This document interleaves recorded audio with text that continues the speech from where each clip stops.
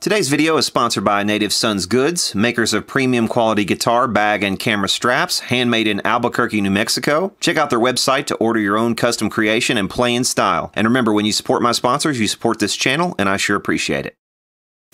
Hey, what's shaking, lads and ladies? Brad the Guitologist here again. Uh, in this video, we're going to take a look at this solid state harmony amplifier from probably the late 60s uh, or early 1970s model H550. That sounds like something you'd be interested in? Stick around. Okay, this is exactly how this thing was sent to me just as a, just as a chassis, so I don't have the rest of the amplifier. And I'm not sure when this thing was exactly made or where it was made. This says Chicago, Illinois, but of course that's where Harmony was based. Um, and I don't, they didn't make their own amps. Um, most of their amps were made by uh, Valco, but this one is being a solid state. This is going to be post 1968. It does have a similar look as far as the chassis goes to some of the Valcos, as far as the you know the layout more or less, but it's not a Valco for sure. But you know we may do some research here to try to figure out what we have on our hands. This luckily it does have a schematic up here. We may be able to find it online too. We've got um, one capacitor that has fallen out of this thing, so I'll have to figure out where that goes couple of big uh, power capacitors over here. Pretty big, um, pretty big power transformer. It's got a serial number of 22305. I'm sure that means nothing to most anyone. It claims to be 50 watts RMS output. Um, we have a main speaker and an extension speaker. I'm not sure what this jack is. It might be an auxiliary. I don't know. Um, could could be an input, I suppose, as well. There's a, oh, that's interesting. I guess that's the power on, on the back. I guess it must be, because I, yeah, no? No, there's an on-off switch here. So I don't know what that is. We'll have to look at the schematic and try to figure out um, a little bit more about this thing, try to figure out where it's made and stuff as well. But we will, um, let's see, actually, let's take a look at the top of it. There's our uh, output transistors right there. And we have a schematic like I said in a parts list up here.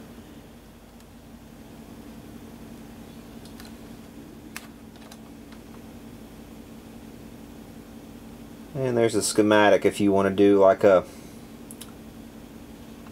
if you want to do a control print screen somewhere along there and print that schematic you can have it. Uh, it's interesting though the schematic is actually pasted to the reverb tank, which is a pretty good size reverb tank. It looks to me like this might be an Accutronics. It's hard to see, but uh, yeah, that could very well be an Accutronics reverb tank. That's a pretty good size one. So they didn't skimp on the reverb tank. Um, let's take a look at the power transformer code. Um, I don't know if you can read this or not. 28012. Um, I'm not sure which is which. Usually the bottom number is the is the date code. 4P21 will be the model number. Uh, I would say that that's the code right there. 28012, so it'll be what the 12th week of 1970 probably. So, but yeah, definitely post night definitely post 1968. Um, let's see, we have we have one here too. 2407011. So that'll be 1970, the 11th week, I believe. Oh, these will these will definitely tell me. 137, 66, 40. So that's 1966. So I might be wrong. I don't know. No, that's 1970. There we go. 15th week of 1970. This one just sat on the shelf for a while. Uh, yep, 1970, 15th week. 1970, 15th week. So yeah, this is a 1970 amplifier. So already we've learned something about it. So I'll tell you what we can probably do. We can probably look up 1970. I've got some catalogs. I've got Sears catalogs and uh, I think I have a Harmony catalog possibly from that year. Uh, but we can search the net for 1970 Harmony catalogs and uh, see if we can learn any more about them. yes, I was able to find some Harmony catalogs online and some more photographs as well, and uh, was able to find out just a little more about them. It does seem like 1970 was the year that they moved to solid state after the collapse of Valco in 1968.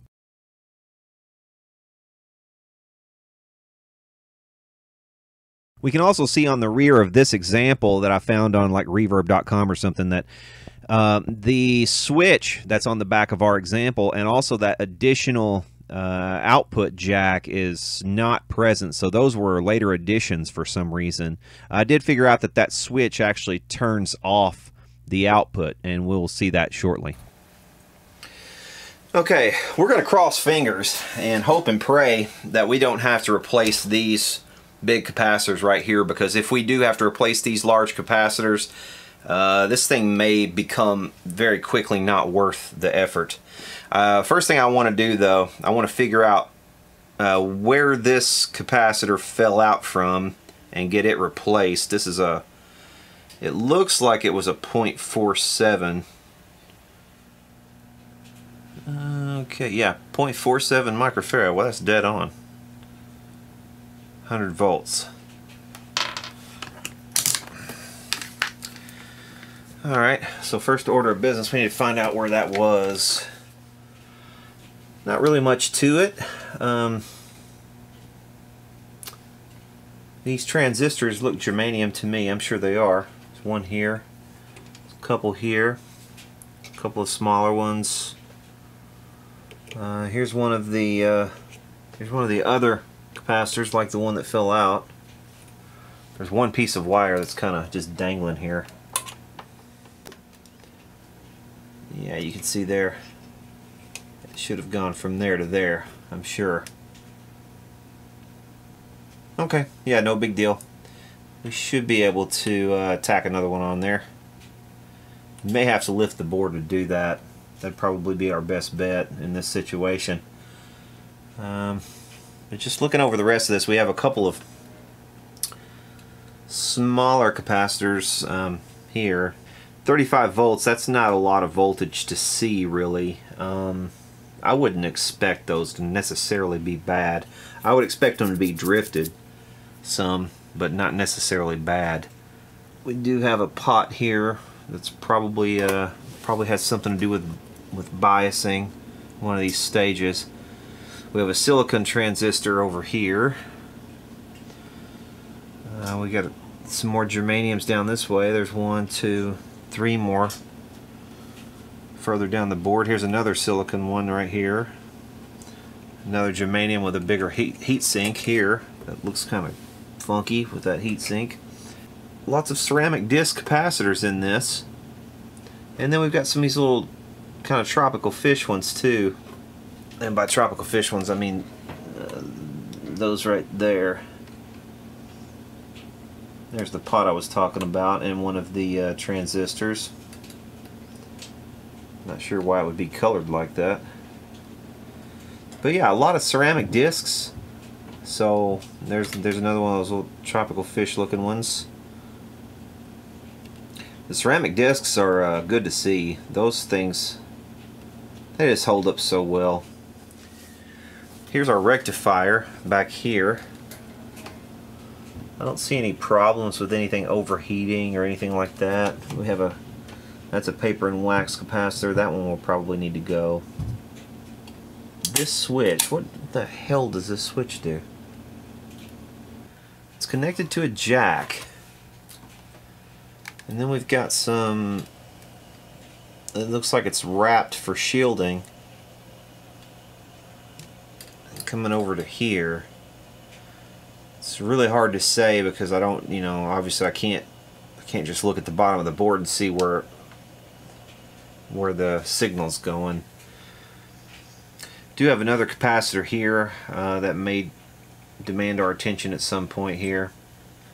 I'm not just gonna recap this thing to recap it. Um, I'm gonna see if it needs it really first these big capacitors over here, I'm like I said, I'm crossing my fingers hoping these don't need replacing because if they do, um, just th buying those capacitors alone will probably cost more than this amp is worth in its entirety. That would be my guess. Those are not going to be cheap capacitors. missing a screw here. Where's our screw? Well, I obviously need to replace that with something. I'm not just going to leave it like that. I'll tell you what. Let's um, let's go ahead and um, let's go ahead and flip this board up. I think, and see if we can't get a new capacitor in there. Okay. Um, I need a plan of attack for lifting this board. I, I might might be able to get it. I'll turn it the other way though. Here in just a second. And I also need to see if I can find a replacement screw for that center one. Uh-oh. Uh-oh. Ah, shit. Oh, that... Well, that screw just broke off. That's great. Well, so much for looking for a screw. I guess I'll just move that one over to the center. Probably when you're trying to grab a piece this small, it's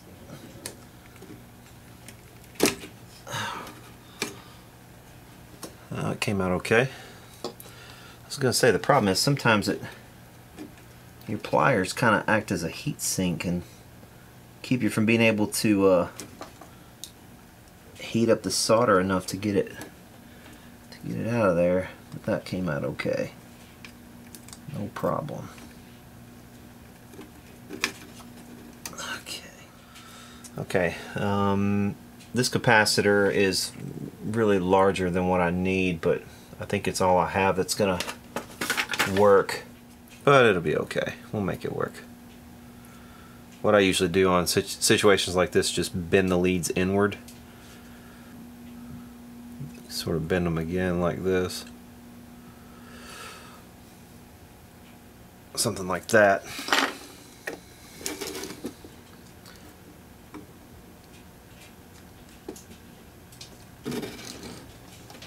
Okay.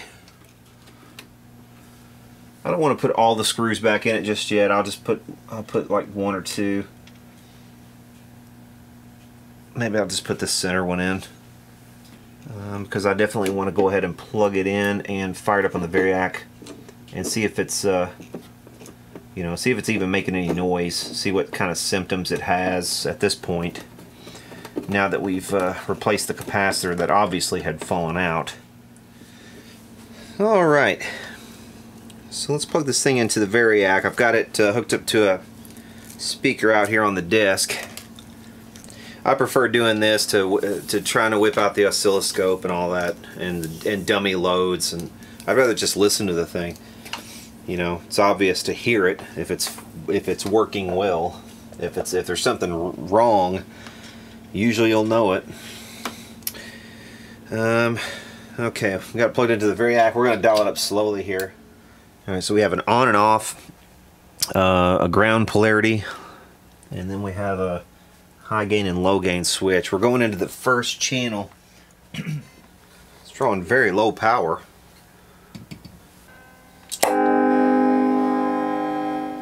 Oh, I guess that cuts the output. Interesting.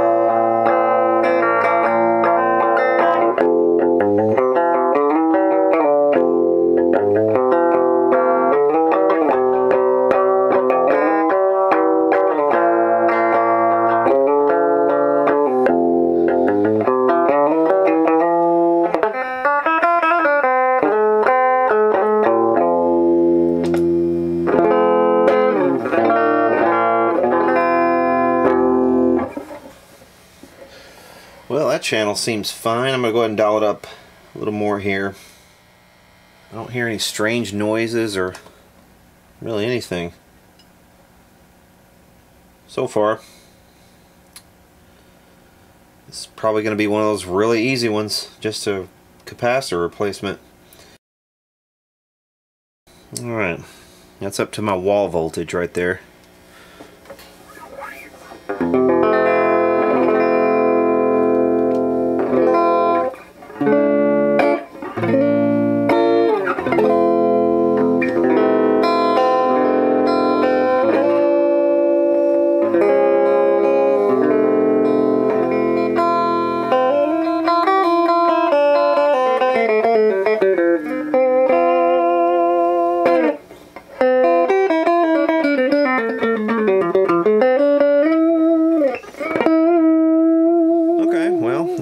Channel. I think this thing's fine. Let's, okay, this is the reverb slash tremolo channel. Let's make sure. Wow. Wow, that is a tremolo and a half. Listen to that.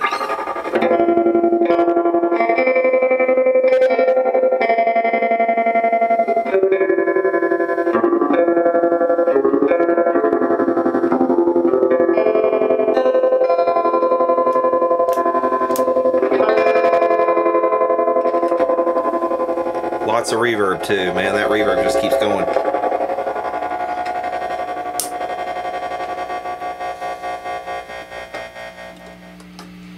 Well, it's definitely punchy. Um, I still need to change the cord from a two-prong to a three-prong uh, power cord. So while I'm in there, I will track down the uh, capacitors for this tremolo and go ahead and change those. Because like I said, when you try to turn the um, speed down past a certain point, it just kind of stops oscillating.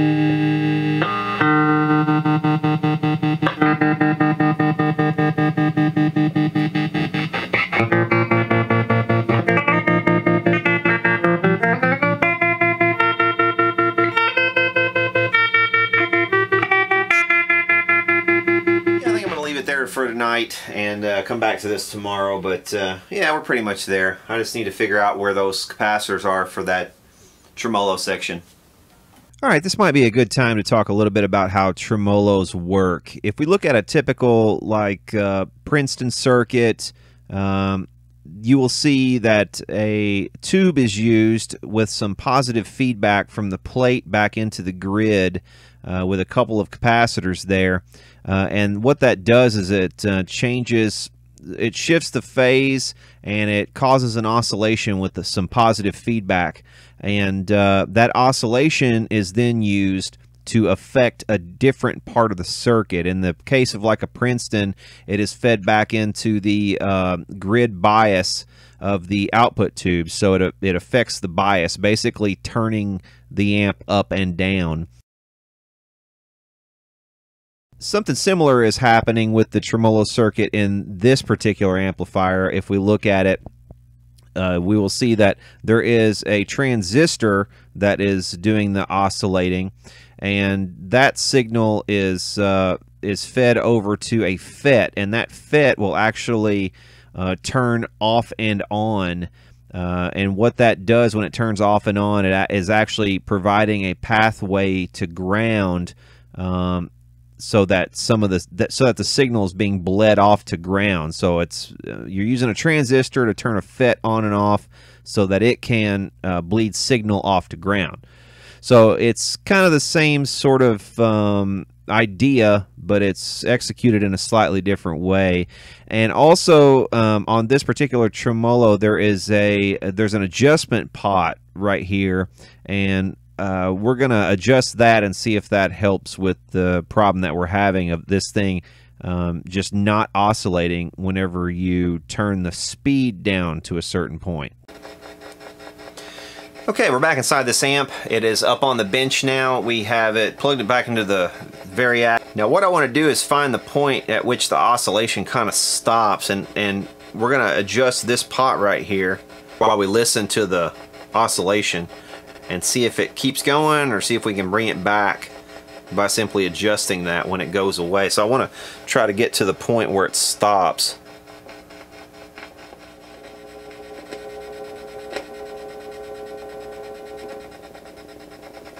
Yeah, you can see that's definitely increasing the intensity of the tremolo. for sure. Now I just kind of want to see if we can determine which of these transistors is which here. Um, let's see. Got 11.9 volts right there of non-oscillating 1 volt.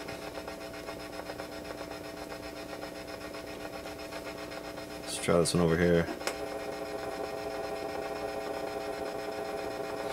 Okay, this one, this oscillating at this point. Whoops.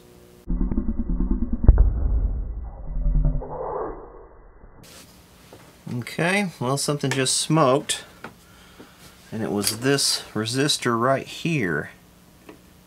No, that resistor is smoking. Damn it. What I did while trying to measure while trying to measure this leg on that transistor right there, I shorted between the that transistor leg and this resistor here.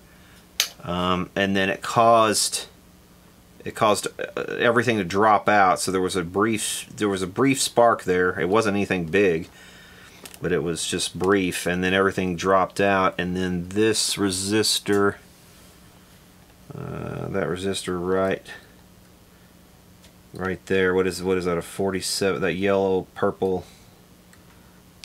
yellow purple brown so what is that? 47 ohm resistor? It's probably something in the I don't know. Uh, I'm guessing that is some kind of. I'm guess, guessing that's some kind of um, voltage supply. Maybe it's the. I don't know. Really don't know. We'll have to investigate further and see if we can come up with an answer to that. So we'll figure out why that's why that's burned. Okay, so something kind of interesting just happened. I was using my probe, uh, trying to find out which of you know which of these. Um, transistors over here was the FET and which one was the oscillator uh, NPN transistor. And I was measuring I was measuring uh, the leg of this one that's closest to me here and uh, measuring the voltage to ground. And notice that there was oscillating voltage right there. Well I accidentally I thought I did. I thought I must have because it did pop. I thought I must have bridged between here and and here on this resistor. But the thing is uh, those those two points are actually are actually already bridged underneath. Those are those are together in the circuit regardless. So it whatever it was it wasn't something I did. I didn't probe it and short it. Um, it was just a total coincidence. What I looked back at the video that I was making when uh, when the little pop happened and everything stopped and there was a spark coming from over here in this area and what I noticed was this uh, this heat sink on this transistor was all the way over here shorted out against uh, this resistor right here. I mean it was leaning right on top of it. So so I've moved that away from it and also when I got up under here, before I before I realized that that was that way, I was getting under here and I also realized that I also realized that uh, that transistor is just barely hanging on right there. You can see the you see that trace right there how it's torn away and I mean it is it's still connected but it's just kind of barely hanging on but I'm thinking what may have happened is I may have um, I may have shorted out this transistor, but the thing that's doing now is this resistor right here is trying to smoke. So there's a lot of current being drawn through this resistor. That is a 470 ohm resistor and it's in parallel with this capacitor right beside it, this 0.02.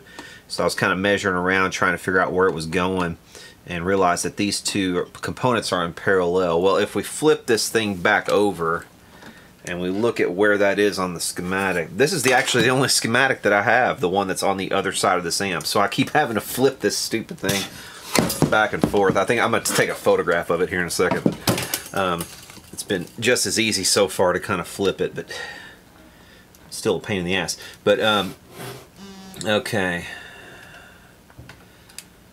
uh, right there, C10 and R8. Uh, C10 calls for a 0.02 capacitor, and this R8 right here is a 470 ohm resistor. And there's only a couple different places where it looks like there's R8s in this circuit. Um, but this is the one place where I can see where these two are in parallel. And it looks like um, we're attached to the collector of Q3 right here directly. So if there's a if this is shorted, if Q3 is shorted to ground, um, I was going to say I suppose it's possible that that um, you would have a lot of current flowing through this. We could check C3 as well. Q Q3, C3, D2, D1, Q4. Any of these really could be at fault. Okay, so I guess the first thing I should probably do um, is check Q3. I'm not sure which one is which here because none of these are labeled unfortunately on the board so you just it's a game of guesswork as to which one is which uh, I'm guessing the ones with the uh, heat sinks are probably Q4 and Q1 up there. I guess. There's a Q3 up there.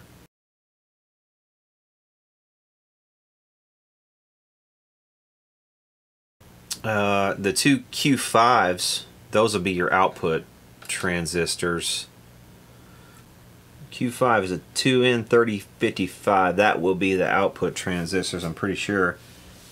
Okay, so what we're going to do, I'm going to write down um, the numbers for Q3 and Q4 on those transistors, and we'll uh, we'll read what's actually on the transistor and see which one is which.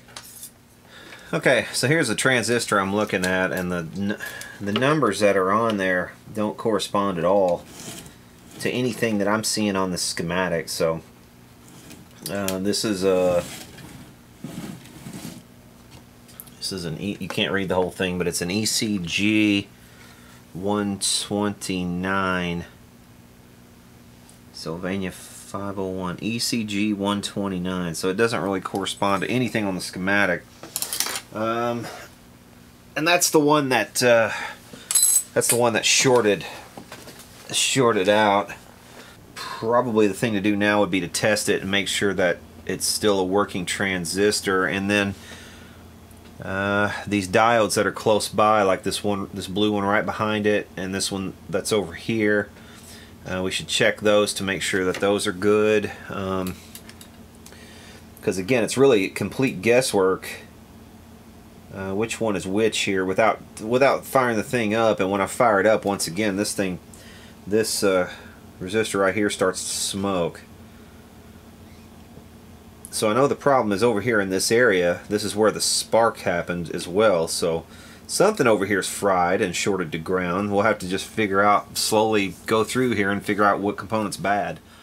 Alright, looking up the specs on the ECG 129. That is a PNP uh, transistor collector to base voltage of 90 volts, collector to emitter voltage maximum of uh, 80 volts.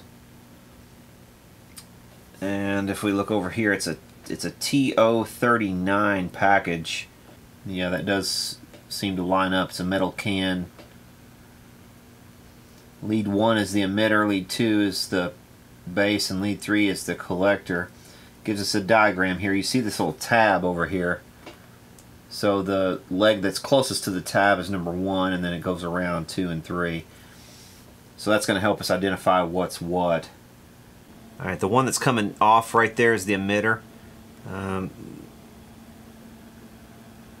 those two that are together right there will be the base and then that one up top there will be the collector so we need to do some measurements I'll tell you what I want to do I think I just want to I think I just want to desolder this thing, get it out of there, and uh, test it out of circuit just to be sure. Okay, so I have this transistor out of the amp and we'll see what how it tests. That came up right away. Yeah, that's a PNP and it's good. So tran that transistor is not the problem. Uh, I'm suspecting more and more that it probably has something to do with one of these diodes over here and it's probably that one right there would be my guess, that blue one. It just kind of sucks because I was so close to uh, this being ready to go and I don't know. It was I guess it was just a matter of time probably before that would have shorted anyway.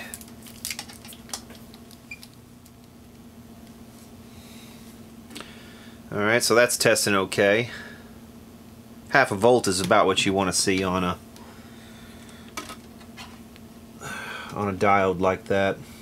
Let's go ahead and test um, test a couple more of these. Uh, yeah, that one's that one's good.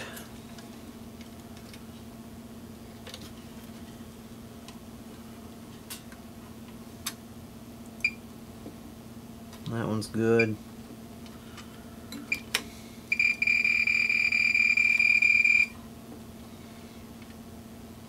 Mm. That one's good.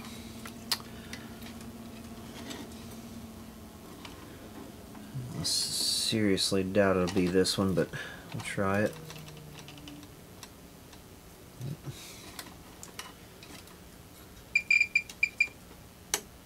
that one's good. That one actually measures good. It's measuring the 470 like it's supposed to. I need to get some pictures of the schematic so I can stop flipping this thing back and forth. Okay, I've decided to plug this thing back into the Variac um, and we're going to dial it up slowly and I've got my lead coming off of the resistor that was burning before. Uh, I'm just kind of curious to see what sort of voltage is present at that point. Um, so according to this, there is no connection from that side to ground. I wonder. No, let's try the other side first.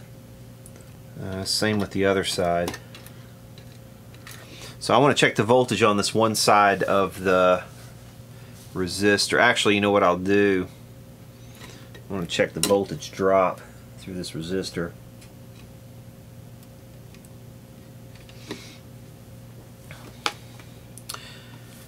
Okay, so it's 400, 468 ohms. Now let's go to volts, make sure it's on. 40, 48 volts, 49, 50 volts, 51, 52 volts drop across that resistor and it's already smoking. So, hmm, why would that resistor be drawing so much current? Why? We had the collector of Q4. For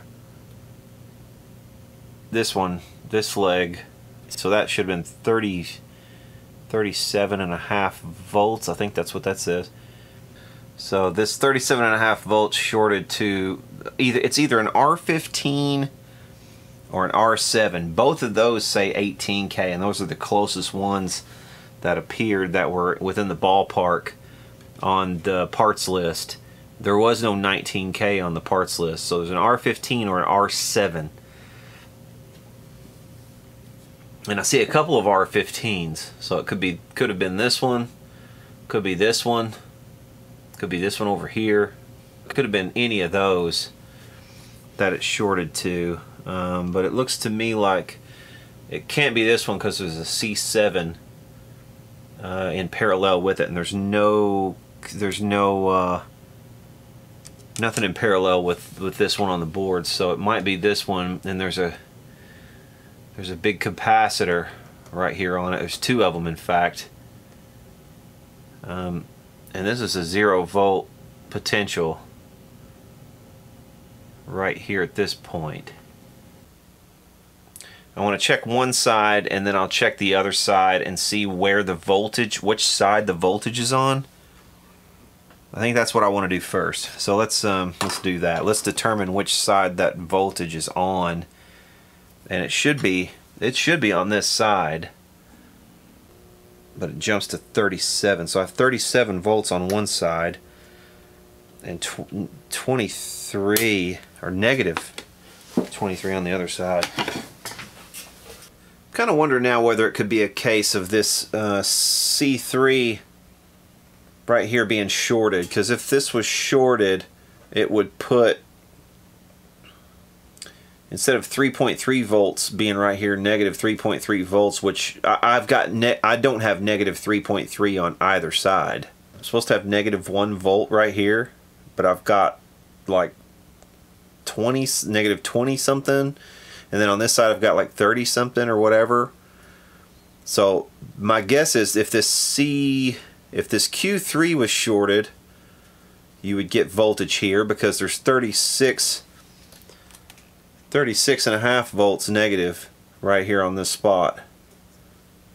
So if this was shorted C3 or if uh, somehow Q3 was shorted, but I've tested Q3, I think it's okay. At least it tests okay in circuit. I haven't pulled it, but I might pull it next. But let's try C3 first because if that was shorted, then we would definitely get voltage right there. So let's look at C3. Okay, C3 is a 39 microfarad. Oh, that'll be a disc cap. Is that a disc cap? Oh no, that's micro microfarads. So 39 micro microfarads. I think the only, the only ones it really could be is uh, are those two right there that are in parallel. There's a there's a couple. Well, there's a 30. Yeah, there's a 39 nano.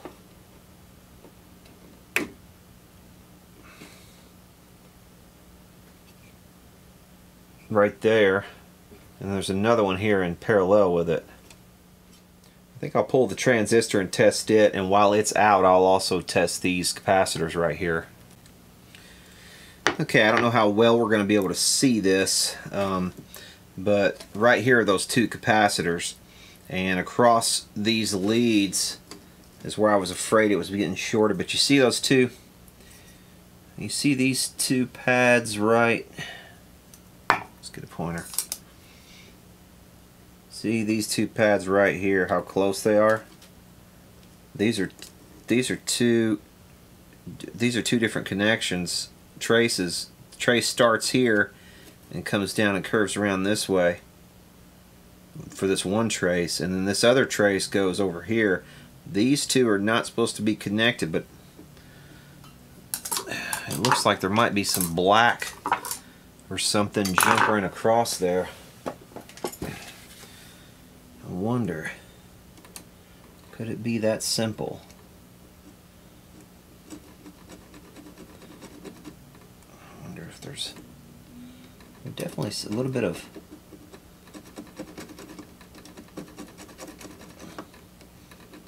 yeah, there was a little bit of gunk there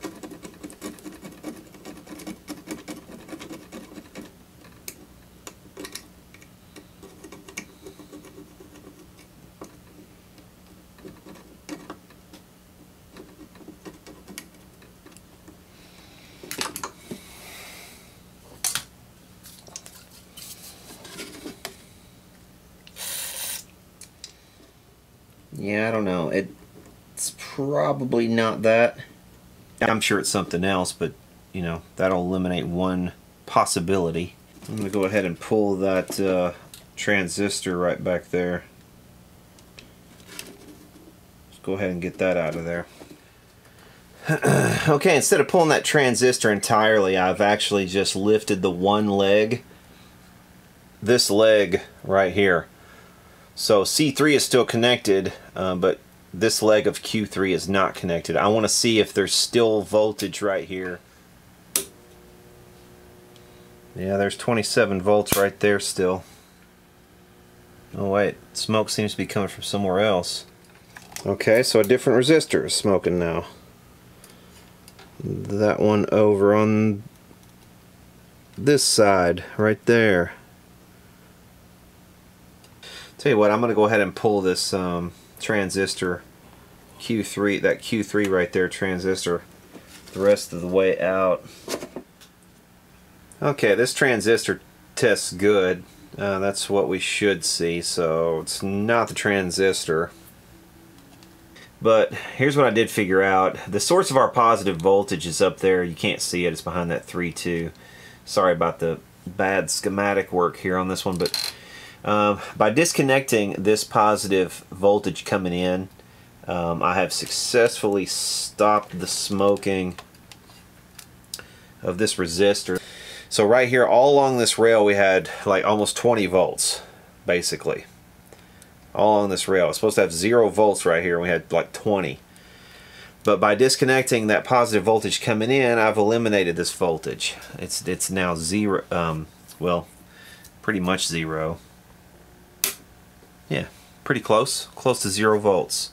And that is with our positive voltage uh, disconnected. We should have, and I can measure it, we're supposed to have uh, positive, positive 39 volts at that point. That's about what we should have. Or 38 volts, rather. And that's exactly what we have. Positive 38 volts. So um, the our power section's fine. Uh, power supply is good. The, the rectifier is good. Um, I'm getting positive and negative voltage like I should. Something on this board is definitely the problem, and I just cannot find it. I have tested all of the um, resistors. I've actually changed a couple of these caps because I was thinking I was thinking I've got I've got another place where tw about 20 volts comes in and it's right up there. You see that 20 volts right there? So that's coming in off the positive rail to, to this point and then it comes through this capacitor. And I was thinking maybe that capacitor was shorted and that's putting 20 volts on here. Well it was a good thought but it wasn't the case. I went ahead and replaced both of these capacitors just for the hell of it and um, that's that's these two here this one and this one. So they are not the source of the issue. Yeah man I don't know. And I've also over here on this over here at this point okay you see the diode right there um, and then you see 37 volts here. Well I've tested that and there is 37 volts. I've tested across this resistor to this point and there is 0.8 volts here. So the voltage is the positive voltage is not coming through here this way. So it's not coming through this way. It's not coming through this way. Um, this Q3 I didn't really test but um, this 0.5 volts was present here. I pulled this transistor right here out because once again we're getting positive 15 volts right here. We're getting uh, negative 27 volts right here on this side and we're getting uh, our negative 37 volts right here like we're supposed to get. Uh, over on this side right here we're getting only one volt. Like you know it's pretty close to what we should see. So something is going on right in here somewhere with one of these components. Something's coming in off of it. And Q4 is right in the center of, of all this. But the thing is this it's testing good. So um, I'm going to leave it out of the circuit for just a minute. The thing is too, um, when I turn it on, it's getting hot along with uh, this this resistor here was smoking at one point and this resistor here is smoking every time I turn the thing on. So these two resistors have a large drop across them they're drawing a lot of current through them and Q4 is the only the only common thread between those two. So it's got to be this transistor. Even though it tests good it's got to be bad. Okay Q4 is still out of the circuit. Uh, again I had no positive 15 volts here anymore. Um, but I do, did still have the negative 27 or so volts here. Um, let's see a lot of current being drawn through R8 right here. Um, so Q3 will be is our next suspect, but I've already tested Q3 also, and that that came up empty. Um, so I'm pulling uh, pulling this capacitor right here.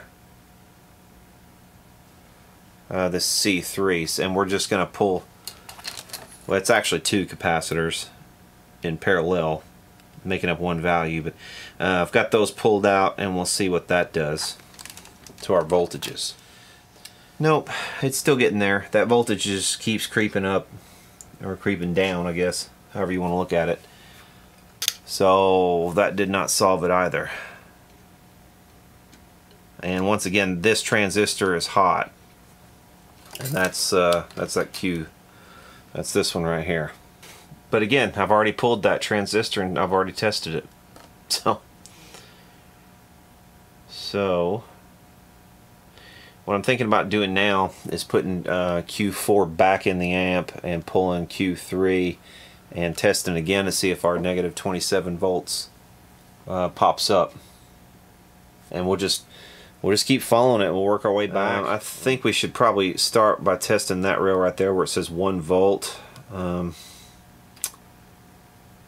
yeah we'll start with that because if there's voltage getting in uh, to here, maybe through Q3, per, this one perhaps, then you know it could it could make its way down. But let's see.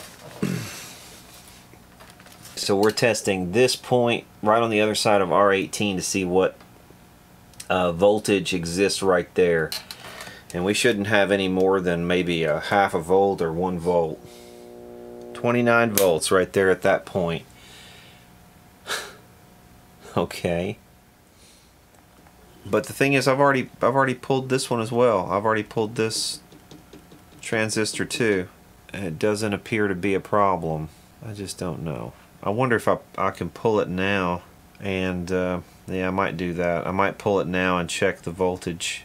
We'll see if we still have anything like that 20 volts, or the 27 volts or whatever back over here. And I should only have to lift one leg. All right. Okay, so there's that leg lifted. So it won't it shouldn't conduct and if there if there was any kind of short or anything like that, then that should take care of it.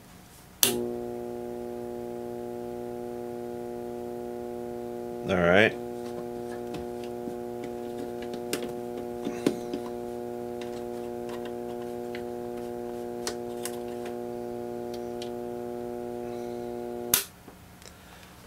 Well, the hum is louder, and I had, um, let's see, I had 8.5 volts right there at that position, whereas before what I have, 20, did I have 20, 20 something? Okay, so here's the crux of the issue with this thing. I need to somehow figure out why I'm getting 37 volts right here at this point. Uh, I should be getting just 1 volt and I'm getting 37 volts. Q3 is my main suspect, but I've al already pulled this out of circuit and tested it and it's fine. I've tested this diode, I've tested uh, I've tested this resistor, these three diodes, everything going into this I've tested. R11s, uh, these two are um, a little bit lower than they should be, but that shouldn't account for why we get so high of a voltage right there at that point. So I really need to figure out why that this voltage is so high, and until I do, um, I'm not going to be able to fix this thing. Q3, like I said, tests fine, uh, so I need to probably find a substitute and just pop in just to see um, see if that helps. I did lift one of the legs and the voltage did decline. It, it went down to like 8.7 volts, but that still didn't take care of all of it. So I'm you know still trying to kind of figure out what's going on with this. I've gotten uh, some new transistors in. I've gotten, a, I went ahead and ordered a couple of them of each of the 128s and the 129s. These are NTE 128 and 29s, and they are direct replacements for the what did I say? Those were ECGs or whatever. Um, so we're gonna replace the see which ones. Uh, it'll be this one and this one I believe are the two I want to go for first. And I think one of these is uh, bad and I'm leaning toward it being this one that's up on the positive side of the circuit. This is the one that uh, that actually caused the spark. Um, So it could be this one as well. But I'm just going to go ahead and shotgun both of those um, and see see if that solves the issue. Okay, I actually uh, replaced those two uh, driver transistors. Uh, this one on the positive side and that one there on the negative side. And I seem to have some life now, so uh, I think we've got it. I, I, just, I don't know what happened. I, you know, I know obviously what happened. It was a short, but um, this has just been a weird one because the thing is, both of those old transistors tested fine. I pulled them and I went back and forth and I looked at all every com component surrounding it. And this is just a hair puller, man. You know, I can see why people don't take in very many solid state amplifiers because these things are so finicky. And the components can test good and not be good, you know. Um, that, that makes it pretty hard to diagnose a fucking problem if you test components again and again and you trace things out to the point where you're you you know you realize voltage should not be right there at that point and you trace you trace every single route that the voltage could be coming from and you narrow it down to one thing and then you test the component and the component's good. It just really throws you for a loop and frankly kind of pisses you off. Makes you not want to screw with anything solid state. But uh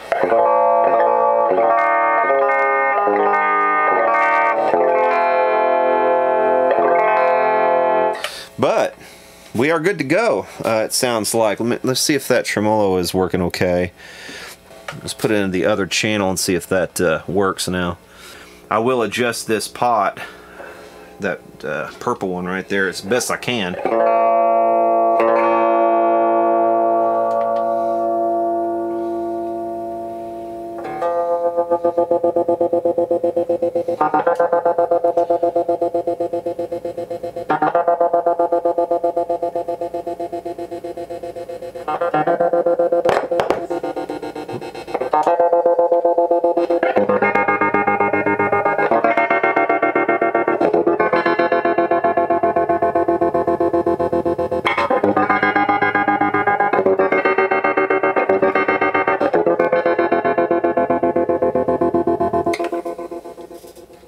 Okay, I think that's going to be better. Um, I left, you know, more lead on these transistors than was there originally, so they're standing up taller off of the board, so they've kind of they've kind of got clearance up and over everything this time. So um, we're not going to have that problem again where the heat sink shorts against a neighboring component.